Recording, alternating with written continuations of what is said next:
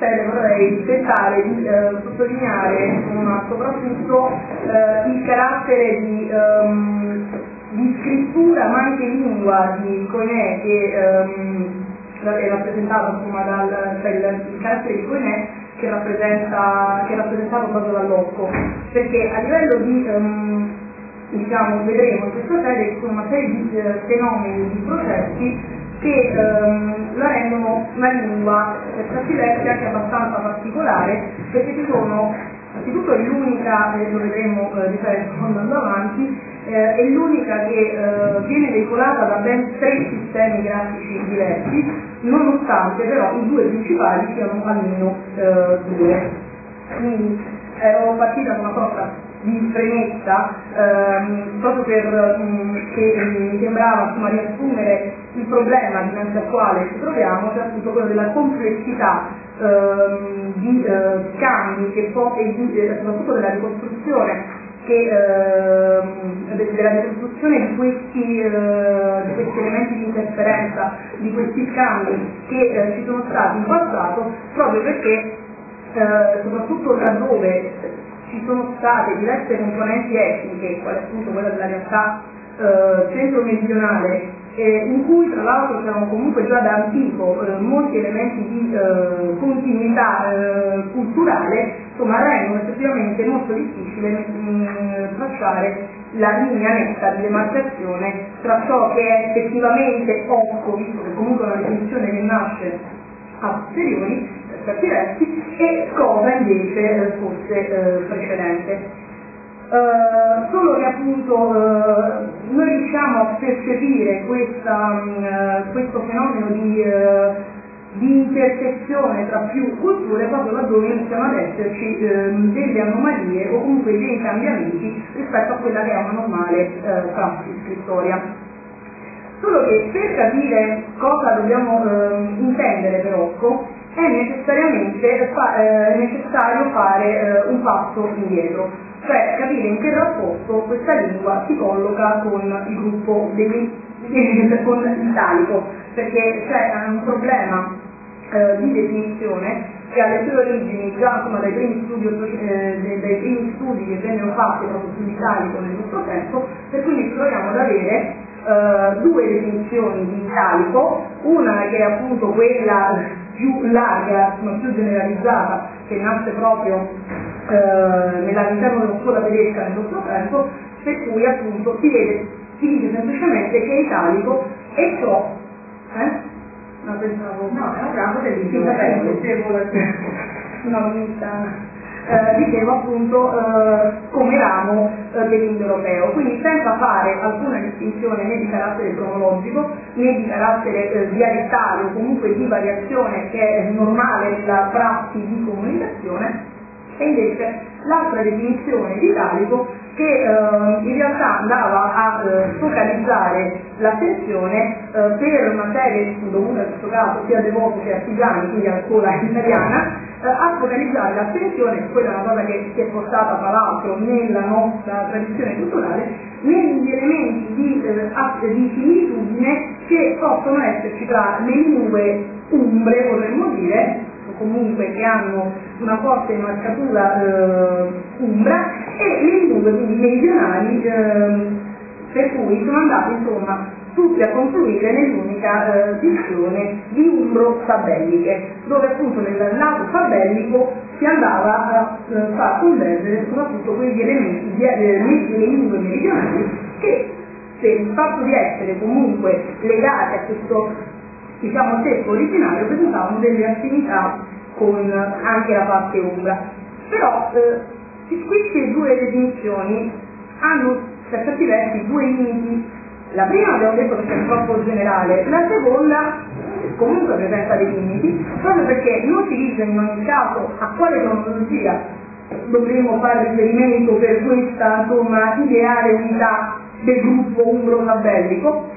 e contemporaneamente non rende nemmeno ragione del fatto che se noi andiamo ad analizzare nel dettaglio le singole lingue, è vero che ci sono degli elementi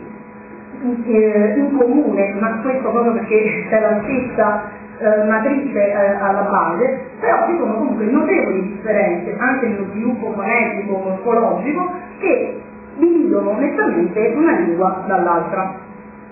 E eh, alcuni elementi quasi come un ulteriore problema sugli elementi di convergenza, ma qui il discorso ecco perché si va a complicare anche con le notizie di carattere storico, archeologico, perché possono esserci in fondo due tipi di influenze degli elementi linguistici, cioè o è un'influenza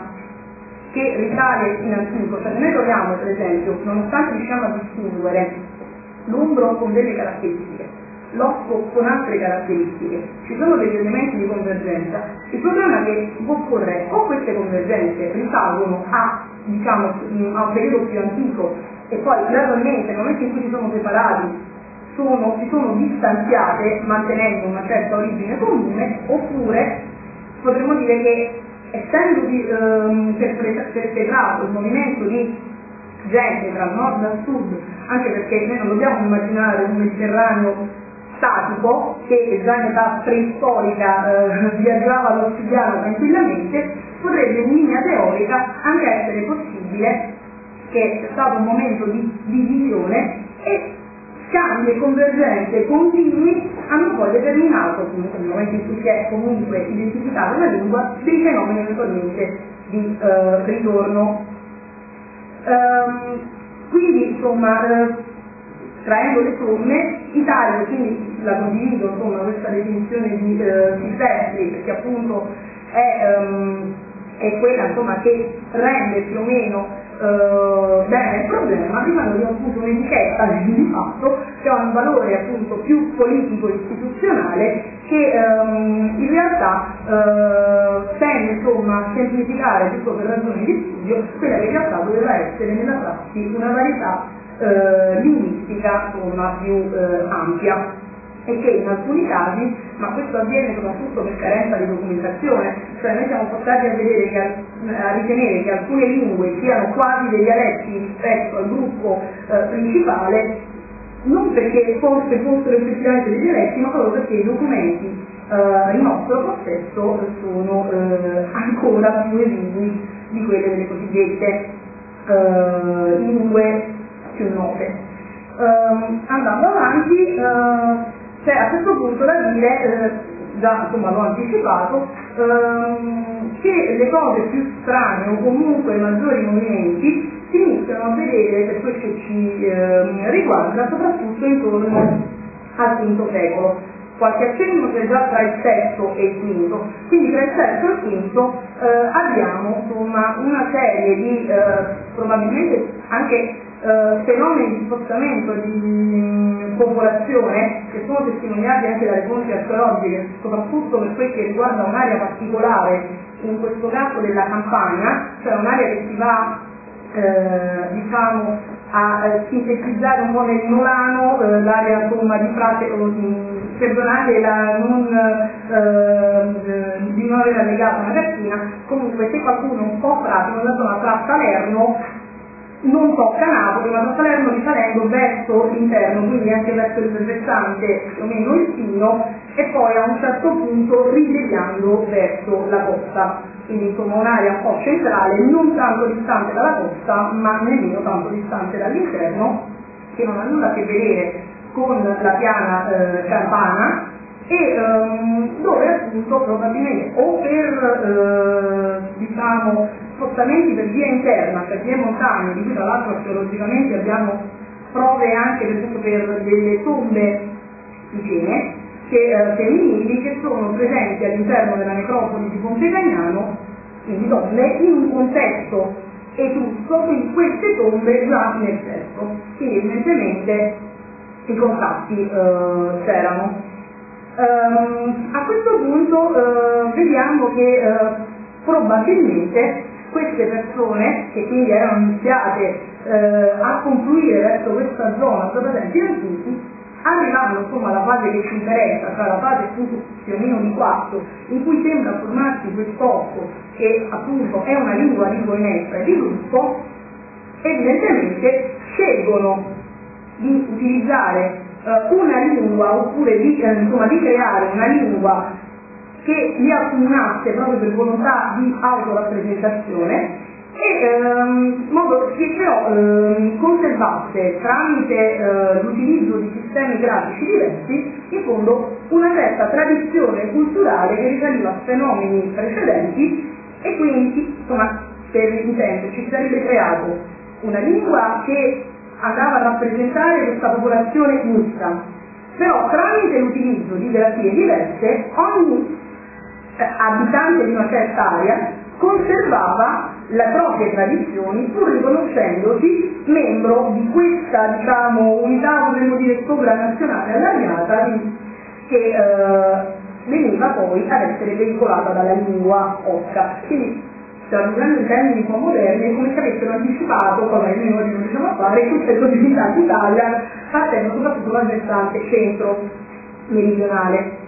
Eh, per, quanto, già, eh, per, quanto, riguarda infatti il luogo in cui noi troviamo attestata la lingorska, eh, è mh, di fatto do, do, abbiamo documentazioni dell'Occo eh, su tutta la, l'area meridionale, centro-meridionale, a esclusione della zona a sud di Foggia, quindi eh, che va verso poi l'area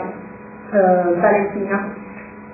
Per quanto riguarda le eh, caratteristiche eh, linguistiche che, eh, presente dell'orso, eh, appunto ci sono delle caratteristiche che la accomunano alla lingua italica, insomma, quindi che eh, la connotano per essere una lingua italica, ma vedremo anche delle differenze che appunto rendono ragione di quel discorso che facevo inizialmente, il fatto che l'umbro, è vero che la definizione di umbro tabellico in questo caso, almeno nel nostro contesto, è sbagliata proprio perché la cronologia è diversa, ci sono delle differenze che connotano onestamente le due lingue. Nel nostro abbiamo quindi un sistema vocalico a sette elementi, eh, di, cui, eh, di, cui, due sono rappresentati da questi suoni cosiddetti U e U diacrificati, che eh, effettivamente non si sa se corrispondono più a un'apertura, eh, a, una, a, un maggiore o minore grado di apertura, oppure denotino proprio una differenza di tipo timbrico. Um, poi uh, ha la presenza in quanto tali delle sonore, uh, questo è importante stiamo parlando di lingua europea, ci sono, ma questo è importante perché visto che l'OPPO eh, in un'area in particolare utilizzerà l'alfabeto etrusco come eh, diciamo, alfabeto principale, alfabeto modello, a, si dovrà eh, relazionare alla mancanza di suoni appunto per, per i segni per notare eh, le sonore non ha le aspirate e anche qui lo metto proprio perché in rapporto al modello grafico con l'etrusco dove invece erano, e anche poi l'altro col greco, dove invece erano eh, presenti. C'è una tendenza all'innovazione analogica, eh, ci sono eh, diverse sincopi e questo è importante perché ci serie di elementi. Um, eh, anzitutto che esisteva quindi eh, la, la, la, sillaba, la, la sillaba iniziale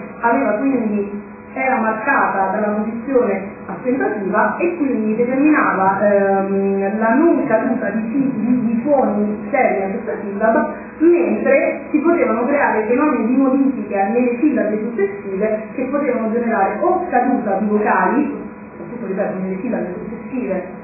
eh, a quella iniziale, o addirittura insomma, in, per un fenomeno opposto eh, aumento di, eh, di, numero di sillabe nell'abbinamento vocalico. Uh, c'è appunto la tendenza, la forma in, ex del genitivo, uh, c'è la tendenza alla, alla palatalizzazione di U fino a spostare appunto all'esito I, Uh, le vocali uh, lunghe e finali uh, appunto subiscono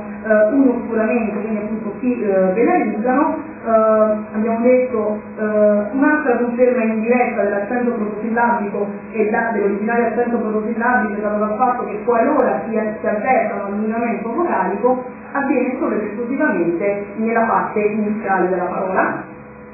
e questo può essere interessante perché appunto noi in alcuni casi lo riconosciamo proprio per una reduplicazione del eh, segno vocalico. Um,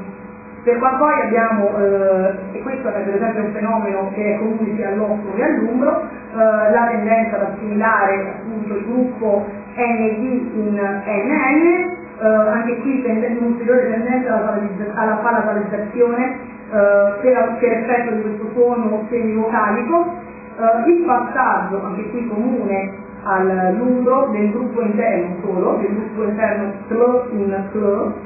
e, e poi eh, questo però è una differenza col latino, che mi devo riconoscere comunque ehm, essere insomma contiguo a certe aree, ma un fatto non influenza, per il fatto che la sonora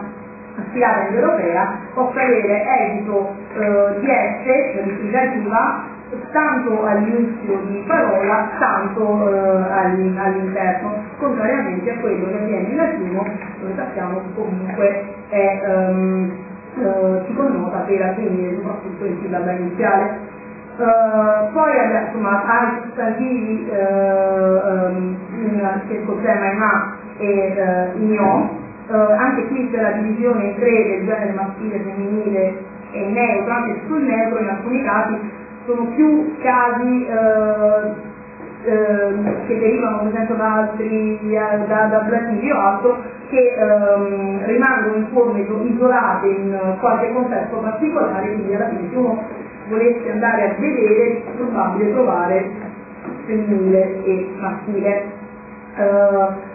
In sede finale c'è um, appunto uh, si, si tende a ridurre la lunga finale, insomma il suono finale della voce S a favore di un um, suono singolo. Ecco qui io notavo appunto le differenze con l'umbro che eh, non avviene la monoprolungazione mentre avviene frequentemente la mastici in modo esattamente speculare e opposto in questo caso a quello che avviene per l'umbro. Quindi ulteriore modo per dire che eh, sono diverse, almeno alla coda cronologica in cui si formano, sono due lingue completamente diverse. Uh, c'è appunto la perdita del carattere um, occlusivo, occlusive, scusate, insomma, dinanzi uh, ad occlusive che non sono uh, organiche, c'è la, la diatesi sia attiva che passiva, non abbiamo come in latino per esempio la forma del planete, e um, per quanto riguarda i fenomeni di attestazione, come si diceva, uh, possiamo immaginare che la lingua fosse parlata anche prima del quarto, visto che comunque è un fenomeno di coinè, perché insomma è una serie di uh, popolazioni a contatto, quindi qualche forma di comunicazione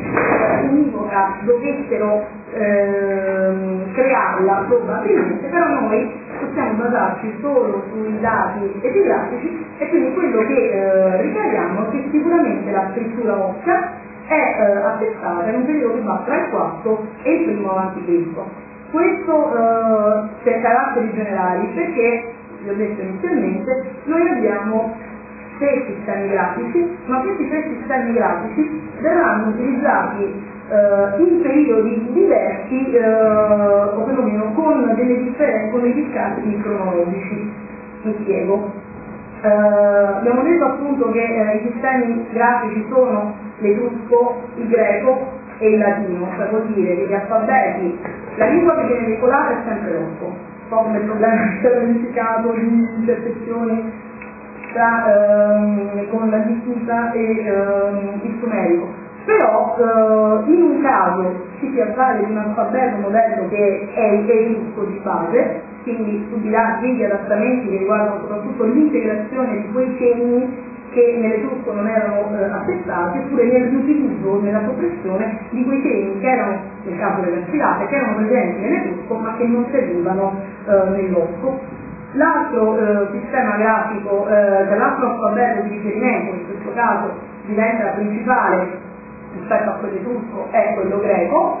e quindi ci saranno degli adattamenti, in questo caso completamente diversi, e l'ultimo eh, sarà il latino. Solo che potremmo dire che um, inizialmente l'osso si divide in due grandi aree, cioè nel senso quella in cui viene documentata eh, le due basi eh, grafiche utilizzate prioritariamente sono quella base russa e quella base greca. Infatti sono quelle che verranno utilizzate rispettivamente dal quarto al primo, eh, però con quella etrusca che ha forse qualche attestazione che va anche oltre la guerra sociale, che poi la guerra sociale di fatto segna eh, quasi la morte definitiva del, dell'otto, perché appunto segna di fatto eh, l'impossibilità di ricongiungersi eh, contro Roma. E, ehm, per il greco invece eh, le ultime attestazioni sembrano coincidere con la guerra sociale, mentre per quel che riguarda il latino eh, vediamo che ehm, eh, ci saranno delle attestazioni che vanno appunto dalla metà del secondo fino appunto alle guerre sociali, ehm, alla guerra sociale. Questa differenziazione è dovuta al fatto che ehm, abbiamo praticamente eh, l'utilizzo del latino non eh, ricalca una realtà culturale precedente, perché io ho detto che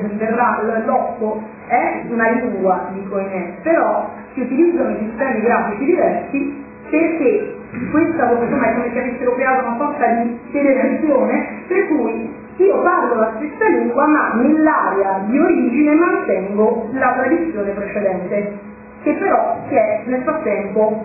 riunita e eh, diciamo, ha perso alcuni elementi eh, che eh, contraddistinguevano alcune espressioni per essere etrusche o greche o altro mentre l'utilizzo della eh, grafia a base latina di fatto diventa solo una moda eh, in quei centri o in quelle realtà che vogliono o per intenzioni politiche o di propaganda o semplicemente di moda dimostrarsi più vicini a Roma. Quindi rispetto, a, ripeto, all'utilizzo della base turca e della base greca sarà solo episodico e focalizzato a certe realtà cioè l'alfabeto base latina eh, verrà utilizzato per lo più nell'area arcana, eh, per lo più a Cuma e di recente, e se non tanto, insomma, qualche attestazione in in, in alfabeto latino lo si ritrova anche in Prima Bretagna, cioè nei pressi di Santa Calenda, provincia di Campobasso, eh, perché è un luogo abbastanza contiguo a, o comunque che eh, vede che consente di raggiungere facilmente la colonia latina di Lucera e quindi insomma il contatto con la parte latina è eh, notevole. Vediamo ora le, le particolarità di ogni eh, diciamo, eh, eh base grafica, quindi di ogni di, di, delle tre eh, grafie eh, utilizzate per l'occo. Già vi ho detto il lato cronologico, proprio perché è quello, l'alfabeto a base russa è quello che dura di più, eh, quello eh, utilizzato nel maggior numero di iscrizioni e tra l'altro anche le prime attestazioni, perché eh, io detto che generalmente prima metà del quarto è una data ampia, insomma un periodo ampio che coincide sia per il greco che per l'etrusco, però se vogliamo andare a fare un'analisi dei documenti più puntuale, vedremo che a livello cronologico i documenti nostro a base turca precedono di poco quelli eh, redatti in alfabeto a base. E proprio per questo motivo appunto il detto coro famigliano. Differenze tra i vari eh, sistemi ci sono anche per l'utilizzo dei segni, per il discorso che facevo precedentemente, per cui abbiamo nell'alfabeto 8 a base turca un totale di 21 segni eh, così costituiti inizialmente ma a base di 19 a cui, e qua si discute, eh, se ne aggiungono due, vi spiego in che senso se ne discute, perché eh, le siglette iudi amplificate, perché ehm, secondo alcuni la presenza della io della UDI amplificata eh, sarebbe appunto un fenomeno successivo per, per eh, notare appunto questi suoni diversi che non erano presenti nell'alfabeto etrusco. Però eh, nella, se uno va ad esaminare la realtà campana eh, precedente, immediatamente precedente a questa fase, ci sono già delle iscrizioni, in alcuni casi etrusche e in altri casi in alfabeto, tra virgolette, nicherino, cioè anziché utilizzare senza entrare nel merito, cioè tutta una questione su eh, come definire alcune iscrizioni che non sono né etrusche né greche, ma che presentano alcuni caratteri, eh, potremmo dire, a livello grafico di ripresa dei suoni, cioè dei segni dal greco, però hanno degli elementi che la connotano per essere una, cioè una, una lingua italica, insomma c'è un po' di mescolanza e eh, in alcune iscrizioni sembrerebbe che almeno un segno simile a quello che è la I criticata sia già stato impiegato.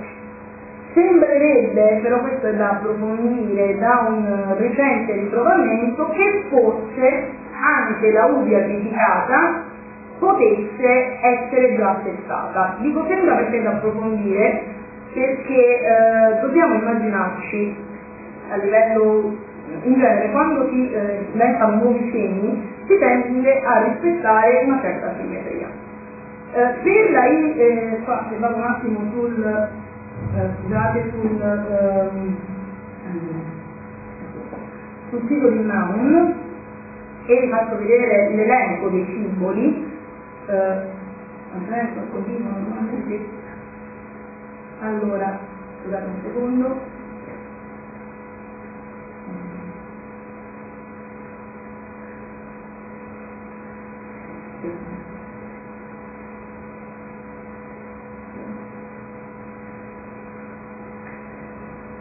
allora nella chiesa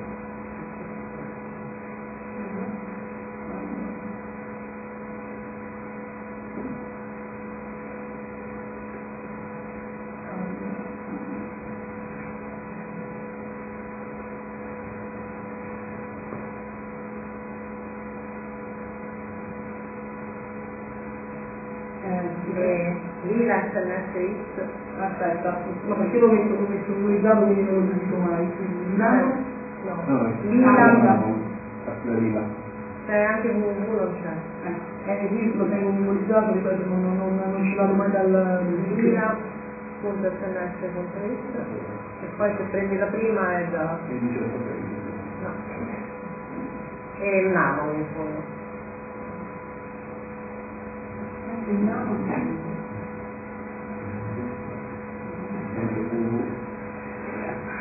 Allora,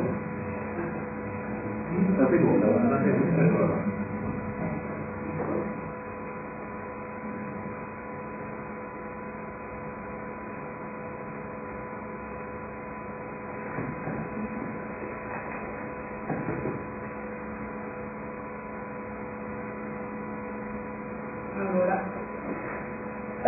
nel caso la casella dell'alfabeto a base turco, che si sono eh, presentati tutti e tre i eh, sistemi, quindi con le corrispondenze e poi sotto c'è un'ulteriore tabella che vede le differenze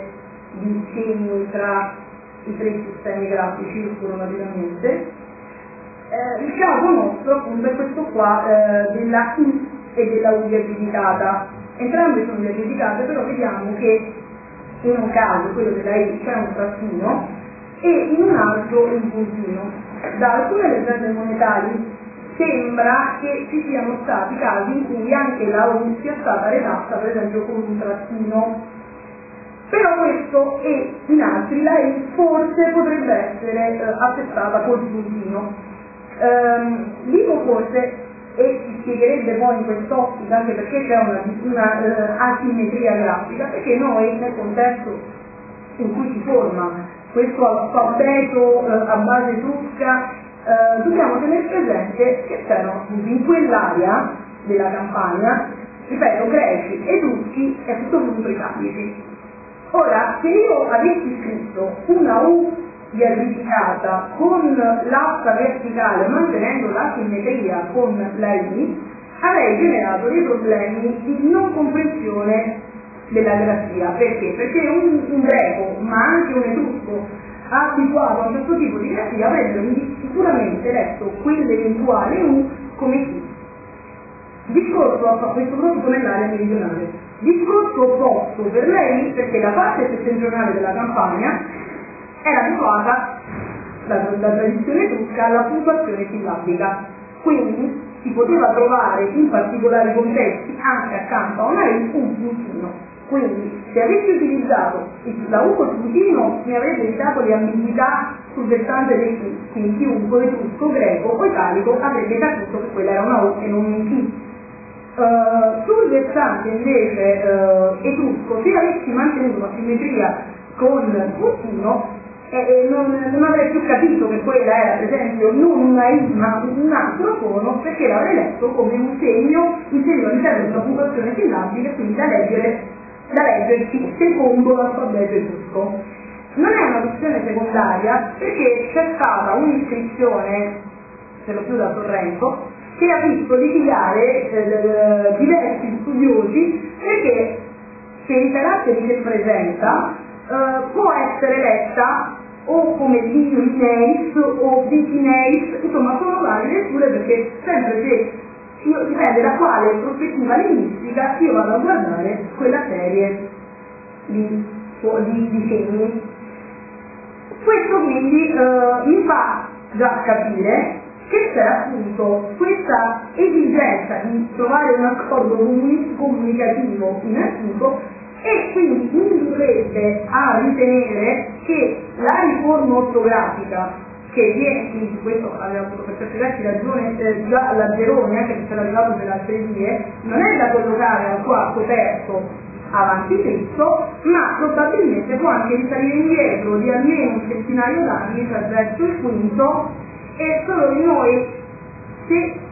ci abituiamo a leggere quelle tutto, quelle italico, quelle rotto, per alcune caratteristiche, non la leggiamo nell'ottica di abitudini all'incontro, potremmo forse non riconoscere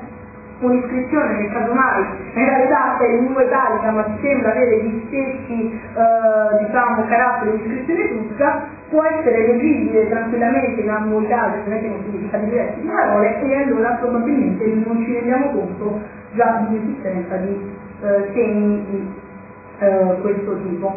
Ritornando alle caratteristiche, eh, abbiamo già detto appunto quali segni non ha e ehm, vediamo che eh, quindi i problemi che si poneva eh, l'alfabeto a base etrusca in rapporto a quello con eh, in rapporto appunto all'etrusco era quello anzitutto di integrare dei segni, di eliminare i segni per le aspirate e, um, e uh, vediamo che probabilmente anche per uh, esigenze fonetiche, ma forse anche qui grafiche come nel discorso della RIU, perché si poteva generare di nuovo una confusione, forse per vari uh, si è usa l'inversione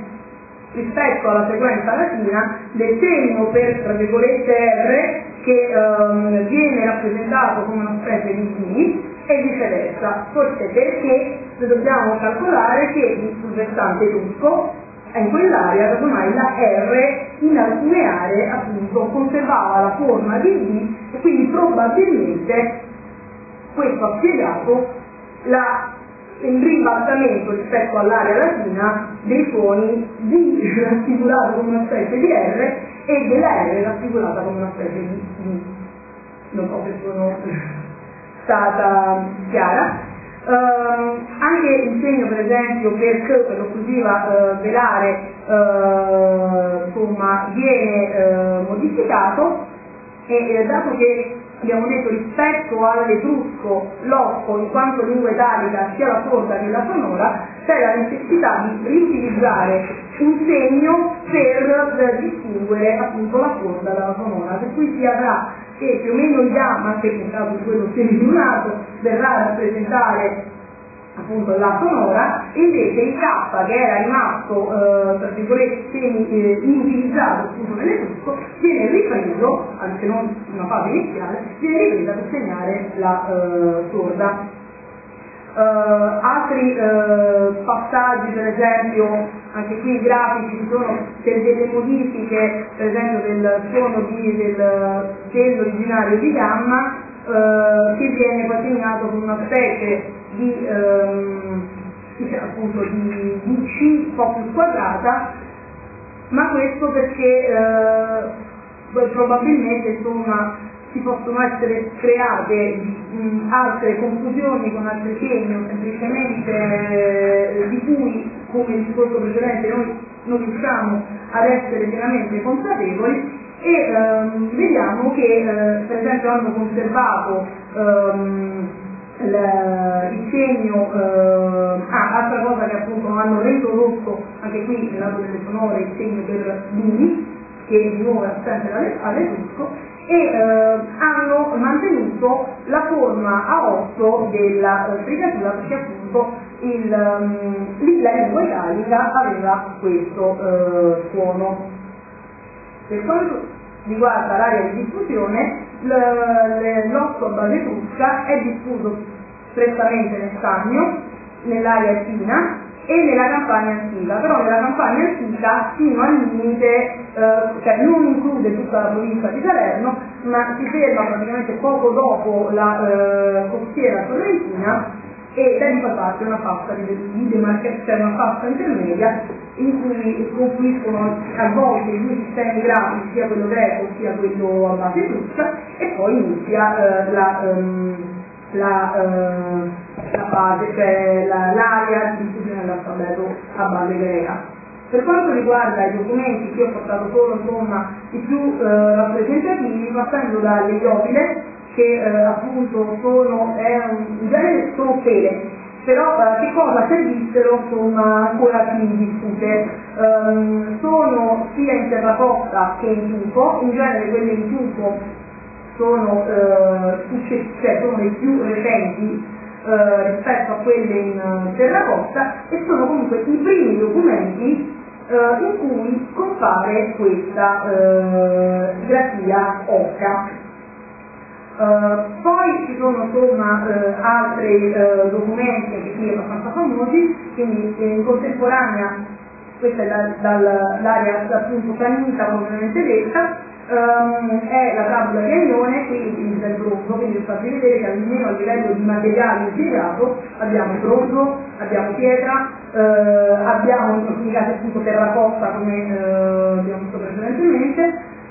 pietra anche di un certo eh, livello, visto che c'è una dedica appunto sul marmo, questo dato da Ercolano, ma ce n'è un'analoga, quasi di Cato Verenza, ma ce n'è un'analoga da Teano, scendiamo verso il secondo, probabilmente il terzo secondo, dedicata a Apollo. Eh, poi quanto riguarda le caratteristiche, un po' di capire il meccanismo, andrò rapida focalizzando soprattutto l'attenzione sulle differenze, già abbiamo detto che coevo, eh, in, ah, il ductus della grafia, questa è nel nostro a base greca, è come il nostro, cioè appunto è ehm, destrozzo, eh, così come l'otto eh, a base grafica latina, mentre l'otto a base grafica etrusca, risentendo dell'originale etrusco, sarà appunto ehm, filtro. Vediamo che nel numero di segni c'è una differenza, appunto sono 23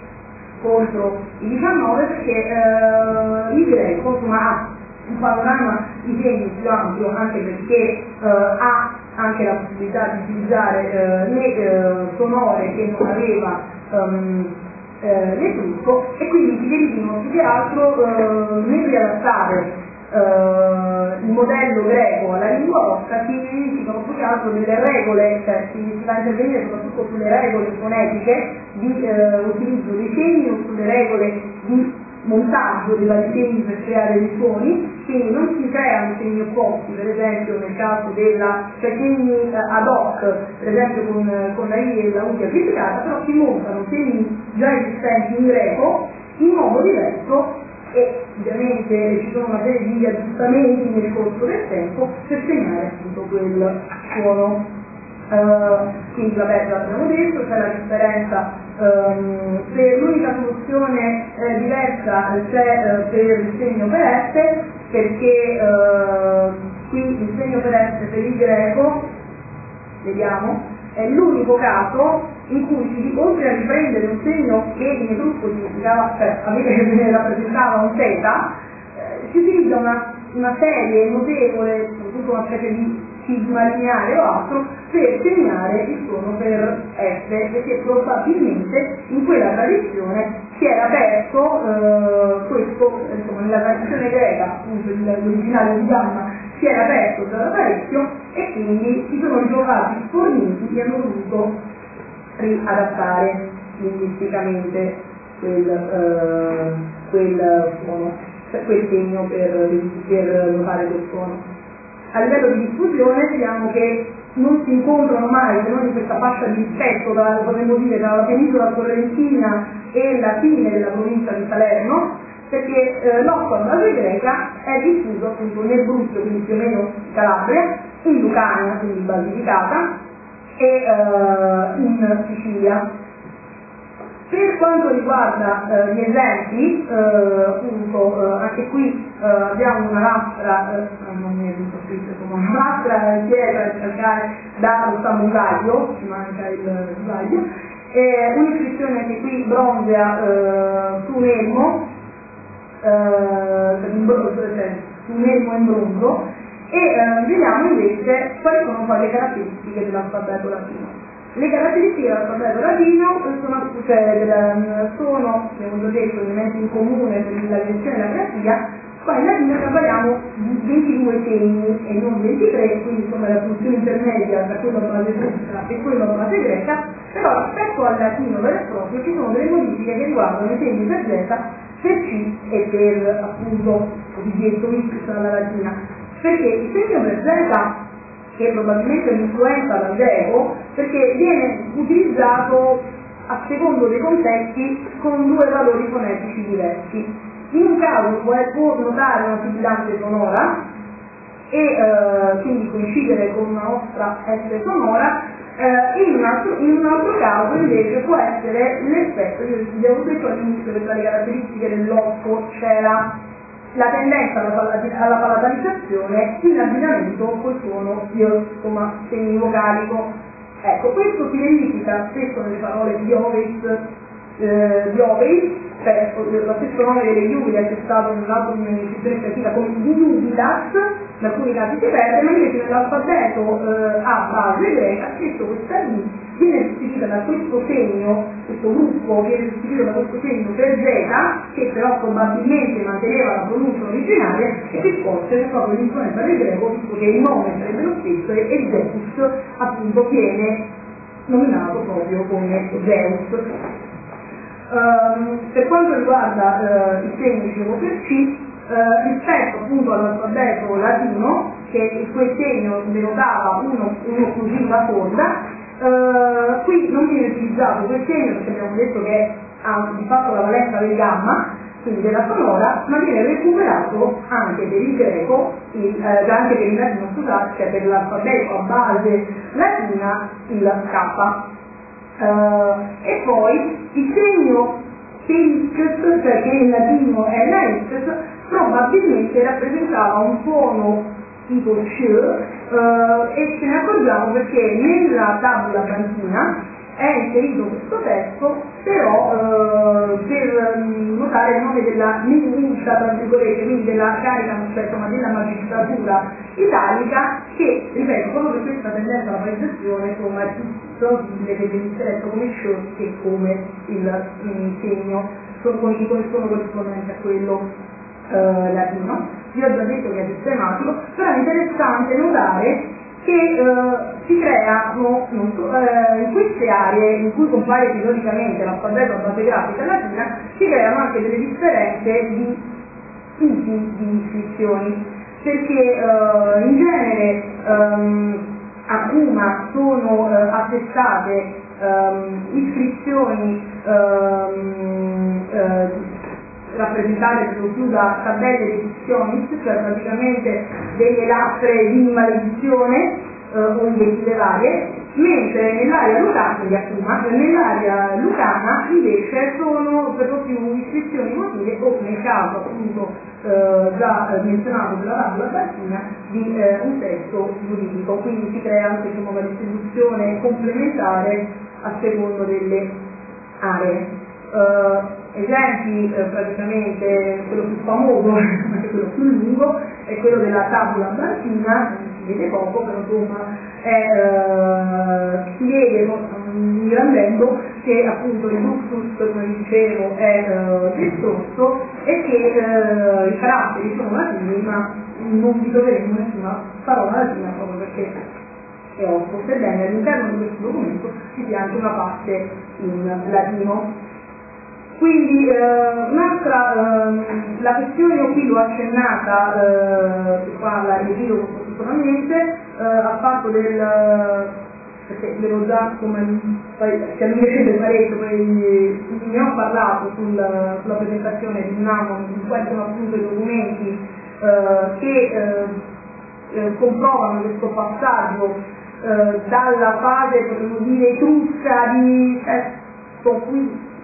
l'altro quinto, quinto quarto, verso la fase rossa che eh, denotano in realtà una continuità eh, culturale, però eh, al di là di questa analisi sulle eh, intersezioni grafiche vere e proprie che ci porterebbe, ripeto, parecchio più là perché con problemi di altro tipo e di altra natura, eh, sicuramente, dicevo, l'occo è eh, un, un esempio, quindi per tornare al titolo, questo esempio di perfetta, il frutto di una perfetta integrazione eh, etnica, perché eh, ha origine dal fatto che c'è questa progressiva omologazione linguistica, di cui credo di aver dato insomma, ehm, eh, spero insomma, un chiaro quadro, eh, poi c'è eh, appunto ehm, il fatto che connota comunque un livello alto della comunicazione, quindi eh, c'è questa volontà di autorappresentazione, come si diceva, che è, è probabilmente antitetica ai romani perché si va a vedere anche eh, una tendenza che è quella per esempio al, diciamo, al trattare le lettere in modo abbastanza squadrato, perché se guardate l'alfabeto e se contate eh, la parte dell'etrusco eh, del collega, vedete che insomma l'osco si caratterizza per avere più o meno forme simili eh, rispetto alla squadra dell'etrusco, però molto squadrate. Ora è interessante notare che prima del 4 avanti Cristo una tendenza a scrivere anche delle iscrizioni tutte in campagna con lettere squadrate è già presente e quindi una delle ipotesi potrebbe forse essere che questa volontà di autorappresentazione dei livelli alti inizi a nascere, quindi esattamente in antitesi rispetto a quelle che sono le teorie fino ad sostenute, per presentarsi come identità affermata i campani intorno ai quali si radunano gli altri locali contro romani da una parte e samniti dall'altra, in occasione soprattutto della seconda guerra sanitica. Quindi questo ci indurrebbe quindi a capire, perché si mantengono anche le tradizioni predette e perché, eh, e poi dopo dice perché eh, forse i Sanniti si avvalgono di questa grafia, perché ovviamente tra latini e eh, Sanniti le popolazioni più diciamo contigue perché che possono avere eh, una eh, maggiore insomma, confluenza ideologica sono proprio appunto gli Itali di, di parte meridionale e quindi forse anche per una scelta politica più conveniente ci sarà poi l'utilizzo successivo e eh, quindi appunto l'oggetto è eh, questa volontà di autorappresentazione etnica. Per quanto riguarda i supporti energia alla fine, abbiamo detto insomma da quella panoramica fatta che eh, utilizzano indistintamente la ceramica, eh, pietra e marmo, metallo, che può essere appunto dal, eh, dal metallo più vile, come in questo caso il piombo, a quello più prezioso, quale l'oro, e eh, anche qui dello stesso discorso che si faceva stamattina è probabile che siano stati eh, dati documenti su altro materiale però eh, di cui purtroppo non abbiamo traccia di questioni di, eh, di deteribilità.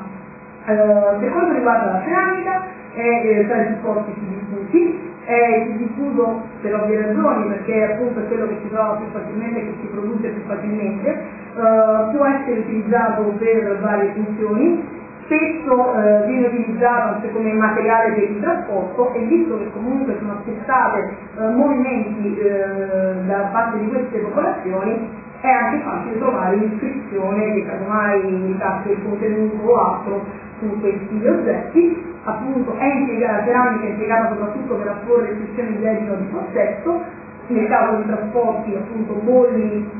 o contenuto, le tecniche che vengono utilizzate per, per, la, per uh, scrivere uh, sulla ceramica sono uh, la cattura, l'impressione e l'incisione nove. Per quanto riguarda la pietra,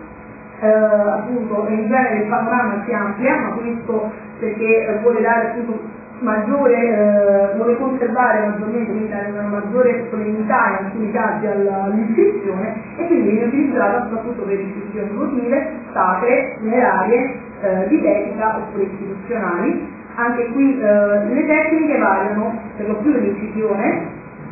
però in alcuni casi, il caso soprattutto di Pompei, abbiamo anche iscrizioni dipinte, ma quelle sono appunto iscrizioni che potremmo dire, vedono oggi il volantino, il manifesto eh, politico o altro. Il marmo della pietra, però è quello, insomma, essendo un materiale, materiale prezioso, ovviamente eh, serve per esigere iscrizioni ufficiali, per il metallo abbiamo tutti, però il bronzo eh, è eh, utilizzato anche per, eh, ha una varietà di utilizzo perché va dalle monete, in alcuni casi molto raramente può anche servire per decorare oggetti, abbiamo visto l'elmo di prima, oppure per testi giuridici in caso della tavola di Agnone. Per quanto riguarda l'oro, eh, in genere è utilizzato per i di oggetti, abbiamo due anelli alei iscritti tipo le nostre sedi, uno che viene da Capua e un altro che viene da Eternia, e raramente per coniare monete. L'argento, insomma, spetta all'argento spetta più campo monetario, mentre al, al piombo, proprio per quella valenza negativa di maledizione, eh, vengono appunto affidate eh, le tabelle e le eh, incisione. Per quanto riguarda le attestazioni fuori d'Italia, abbiamo anche delle attestazioni fuori d'Italia della lingua osca e lo sappiamo sia per testimonianze dirette che per testimonianze indirette. Per quanto riguarda la ehm, testimonianza, eh, per quanto riguarda le testimonianze dirette, ne abbiamo sia, ne abbiamo, ne abbiamo fatto due esempi, uno in alfabeto greco e in alfabeto a base greca e un altro in alfabeto a base latina. Per quella a base greca è un cancro eh, sedellato che è stato ritrovato ad Anesia eh, e eh, probabilmente per una serie di ehm, elementi soprattutto onomastici forse è stato eh, rimanda, ma meno innanzitutto, dovrebbe essere legato all'area lucana. Per le testimonianze indirette abbiamo delle dediche rivenute a Deo dell'arte in greco, quindi per, eh, diciamo, che, che, sono da attribuire una serie di fattori anche qui onomastici o di provenienza che vengono aggiunte eh, a gente che originariamente parlava appunto la lingua osca, ma che trovandosi fuori ha utilizzato un tipo di lingua internazionale. L'altro ehm, esempio è invece a base etrusca, che è un bollo a poco di un'ancora, il discorso di cui si diceva ritrovata insomma, eh, in Provenza, e eh, dimostra il, il, non solo appunto la ceramica come eh, elemento di trasporto materiali, ma direttamente anche il fatto che proveniente da gente campana eh, commentasse con la Provenza e anche qui identiche Uh, sempre rinvenuti a bello, però facciamo stare l'arte il latino, quindi come lingua internazionale utilizzavano l'altra ad ulteriore dimostrazione di quanto fossero, diciamo, multilingue e anche multietnici per certi versi. Qua eh, ho finito, perché in realtà questo lo stavo completando, eh, c'era l'elenco eh, di una serie di risorse online, però rispetto a, continua, però rispetto a quello che abbiamo visto stamattina, per le risorse online noi vediamo che eh, due cose in particolare, non esiste nessun diciamo, eh, progetto che abbia tentato di catalogare tutte le iscrizioni per cui ci, e, che ci, e che ci faciliti la ricerca, per lo più sono degli articoli eh, dei vari studiosi, notizie qualcuno che compone regolamenti su internet, notizie eh, in genere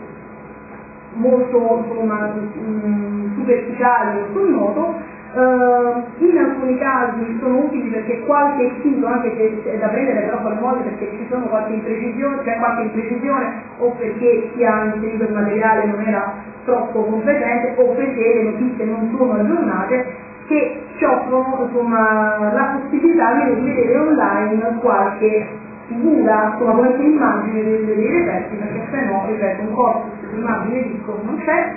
e eh, l'altra tendenza che si nota per i corsi online è che spesso vengono abbinati ai segni, cioè qualora uno vada alla ricerca dell'occo si tralascia tutta la realtà di cui eh, tentavo di dare un quadro in questa sede per rimandare tutto e sempre all'area sanita. E, um, è un sito abbastanza interessante, eh, mi è sembrato uno eh, curato dalla Castelletti, che è un sito di magistrature italiche, quindi porta, insomma, approfondisce gli aspetti delle magistrature, eh, quindi dà una serie di notizie mm, avvalendosi anche di documentazione didattica su come dovessero funzionare o che tipo di, di interazioni ci fossero a livello di Italia.